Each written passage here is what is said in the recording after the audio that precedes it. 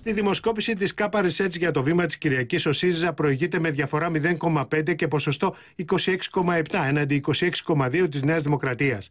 Τρίτο κόμμα είναι η Χρυσή Αυγή με 7% και ακολουθούν Πασόκ 6,1, ΚΚΕ 5,9, Ποτάμι 5%, Λαϊκή Ενότητα 4,2, Ένωση Κεντρών 3,6, Ανεξάρτητοι Έλληνες 3,1. Η ενδιευκρίνηστη ψήφος είναι στο 10,2%.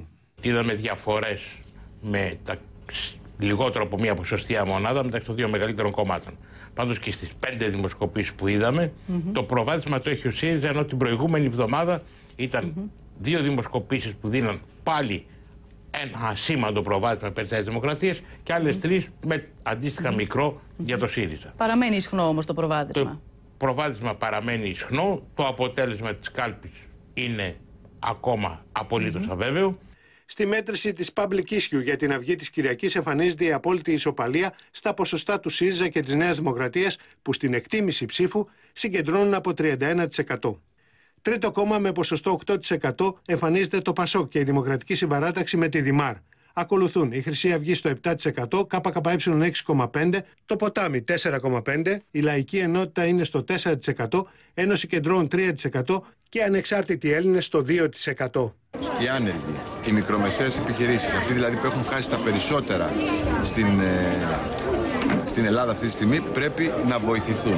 Και νομίζω ότι αν υπάρξει μια καλή πολιτική εξέλιξη και το ποτάμι είναι δυνατό στις 21 του μήνα και γίνουν δεχτές οι προτάσεις μας, θα μπορέσουμε πραγματικά να μιλήσουμε για μια καλύτερη στιγμή, για μια καλύτερη μέρα για τους χαμένους των μνημονίων. Δώστε μας δύναμη από τη δύναμή σας. Να είμαστε εμείς, ο εγγυητής της σταθερότητας, ο καταλήτης της συνεργασίας. Ζητάμε εντολή ευθύνης και αξιοπιστίας. Ο ελληνικός λαός θα δώσει σε εμάς την τρίτη εντολή, την κρίσιμη για σχηματικών κυβέρνησης, όχι στο Μιχαλολιάκο, όχι στη Χρυσή Αυγή. Στην έρευνα της ΑΛΚΟ για το πρώτο θέμα, η διαφορά των δύο κομμάτων είναι 0,7% υπέρ του ΣΥΡΙΖΑ που εντοπίζεται στο 25,4% έναντι 24,7% της Νέας Δημοκρατίας. Ακολουθούν Χρυσή Αυγή 6,4%, ΚΚΕ 6,2%, Πασόκ Δημάρ 5,1%, Ποτάμι 4%, Ένωση Κεντρών 3,9%, Λαϊκή Ενότητα 3,4%, Ανεξάρτητοι Έλληνες 2,6% και η αδιευκρίνηστη ψήφος στο 10,4%. Στην έρευνα της MRB για τη Real News, η διαφορά των δύο κομμάτων είναι στο 0,4% υπέρ του ΣΥΡΙΖΑ, που έχει 25,9% έναντι 25,5% της Νέας Δημοκρατίας. Ακολουθούν Χρυσή Αυγή στο 6,1, ΚΚΕ 5,7, Πασόκ Δημάρ 5,3, Ποτάμι 4,9, Ένωση Κεντρών 3,9, Λαϊκή Ενότητα 3,2, ΑΝΕΛ 2,6 και αδιευκρίνηστη ψήφος στο 14,1.